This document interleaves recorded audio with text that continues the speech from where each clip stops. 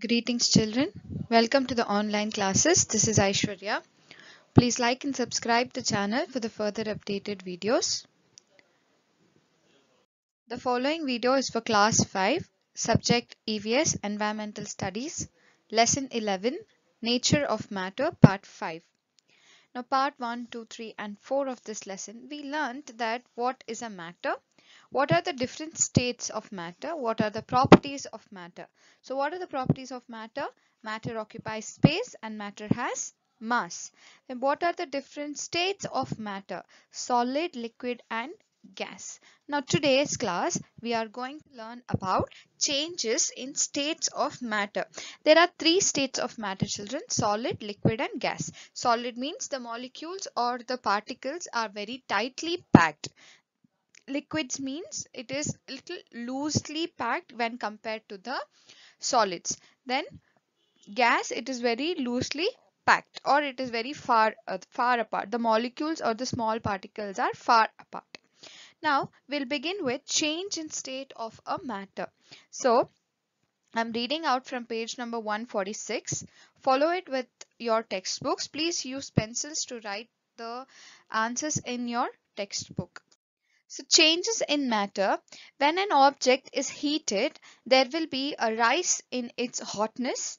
The state of matter changes due to heat. Always when you heat something the state of that matter will change. Now one uh, beautiful example that i can give you is if you have um, ghee in your house usually during winter seasons the ghee, gets converted to solid states when just kept aside so before serving the ghee, your mother takes it from the bowl.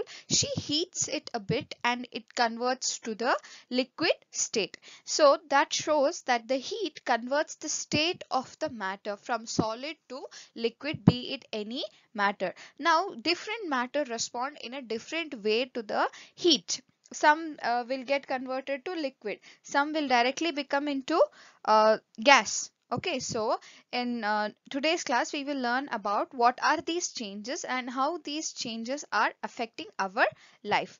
In your textbook in page number 146 write the states of matter in following situation. Now you have to write if it is uh, which state of uh, matter. Okay so ice cubes on heating ice cube on heating it is water. Water on heating water water becomes water vapor. Vapor on cooling water. Water on cooling ice.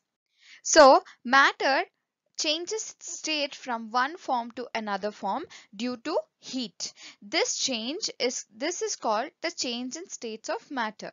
On heating many solid change into liquid states.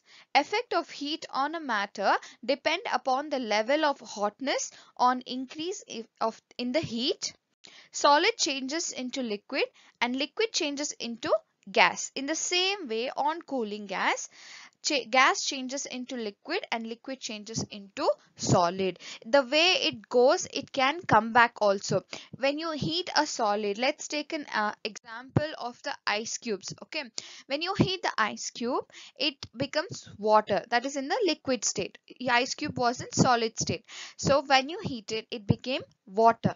When you heat the water more and more it gets converted to water vapor which is in the gas format okay the gaseous state of matter. The same gaseous state of matter when you cool it down when you cool that uh, water vapors it gets converted to liquid first and from the liquid you can always make ice cubes. That is back to the solid state. This way heating all heating changes the state of matter then there is one activity in your textbook in page number 146. Take a broken piece of the glass bangle. By heating, bend it into required shape and stick it on the cardboard.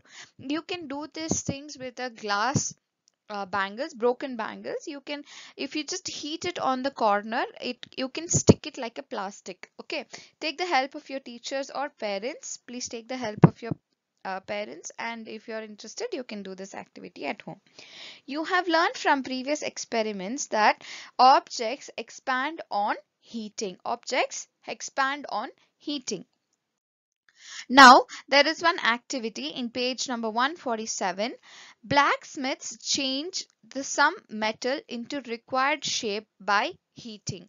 Why is iron heated? Think and write here.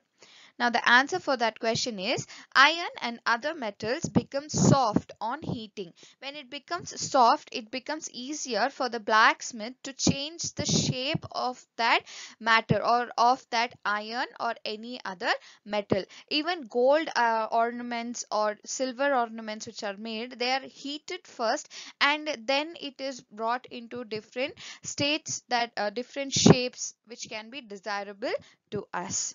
Next is heat transmit from one object to another. Example, ironing the clothes. When you're ironing the clothes, what happens? The iron box or your ironing object, it is hot.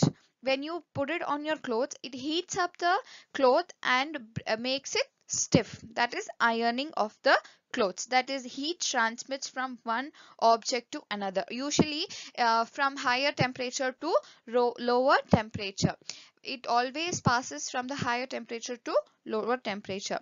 Write an example for the change in an object due to heat one best example is cooking of food whatever food you cook it is heated the state of the matter changes isn't it you add water water becomes water helps to cook the food Next is sublimation. Sublimation. What is sublimation? There is one experiment to understand what is sublimation in page number 147.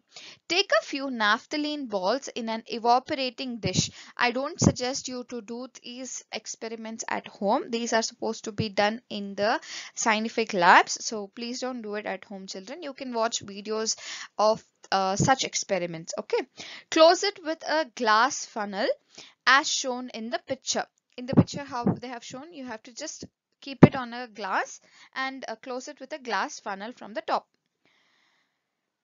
Take some cotton in uh, and close the other end of the funnel. The other end of the funnel will be open so you just have to close it. Heat the dish slowly. Please don't heat very fast. Heat it very slowly. Naphthalene converts into milky vapor and will be collected in the inner side of the funnel. Stop heating and observe what happens. Right here. What happens is naphthalene naphthalene remains in the solid form. Okay. That some solids now we know that when solids are heated they convert first into liquid and then into vapor. Similarly on cooling the vapors are converted first into liquid and then into solid. But some solids are on heating directly convert into their vapor state and vice versa without passing through the liquid state and this is called sublimation. Sublimation means some solids on heatly directly convert into vapor state and vice versa. Vapor state means if the vapor is collected and it is cooled down, it becomes back to the solid state without passing through the liquid state. The intermediate state of the liquid state is not passed by these substances. Such substances are camphor and iodine. Camphor, it is always available in your house or in Kannada, it's called karpura whenever your mother lights the karpura in your puja room you can see there is no liquid state in between. The camphor directly when you heat uh, when you uh, lamp light the camphor, it directly gets converted to the gas state. It, this happens with iodine also. Iodine is a chemical. When heated, it gets converted to its gas state. Okay, it starts emitting purple color gas. The second picture that you can see on the down of the screen, that is the iodine. When heated, it gets converted to the uh, gas state. Such uh, changes are called sublimation. What is it? S-U-B-L-I-M-A-T-I-O-N, sublimation. Next activity, light a wax candle and observe what happens to the wax after some time. Now put off the candle and observe what happens to the melted wax right here. What happens to that melted wax? When the flame is on, the candle melts. Then on putting off the flame, the wax solidifies again. You, this is very uh, simple experiment when there's no power in your house you will have candles isn't it so then you can do this and see what are the changes and please write down the answers which are given on your screen give example for the following take the help of your teacher solid uh, changing to liquid then uh, liquid becomes solid. Solid on heating becomes gas then gas on cooling becomes solid. For first one the example can be ice cubes turning into water then back to the ice cubes when you cool it. Then for the second example it can be a camphor so i hope you have understood till here children the remaining part of the lesson will complete cover it in the next video. Stay at home, stay safe, take care of yourself and keep learning children. Thank you.